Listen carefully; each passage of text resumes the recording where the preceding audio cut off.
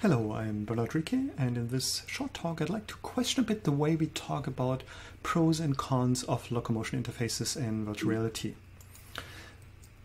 So there's lots of different ways of moving through virtual reality, as you all know. So there's lots of continuous locomotion ways, but also there's discontinuous one. So here what I'd like to do is basically rethink a bit the way we talk about pros and cons of interfaces at the example of teleportation with this continuous locomotion. So with continuous locomotion, we know there's a finite speed, so it takes time to get anywhere, which is time consuming. So uh, typically it's assumed to be uh, a disadvantage. With teleporting, it's great because it's instantaneous. It's really the dream of any frequent traveler. So yay. However, if you actually want to enjoy the journey, explore, hit a new place, then actually suddenly continuous locomotion looks really attractive, whereas discontinuous locomotion or teleporting does not.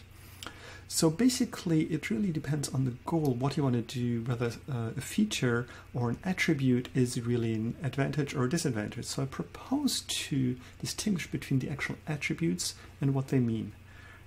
Whether that's a benefit or a disadvantage really depends on your goal. And we have lots of other examples of this here for effort, path integration, and so on. And what I want to really conclude with is that this kind of approach of distinguishing between attributes and also the benefits and disadvantages can be used for just about any system. Because it, whether something is a pro or con really depends on the goal, the desired user experience, the individual preferences, maybe predispositions, the current mood or state of the user, the expectation, the application specific context of scenario, and probably lots of other things. So I propose that this might be a more useful way to think about it. And this way we can actually utilize these attributes depending on the goal. And there's of course a lot more in the actual paper. Thanks for watching.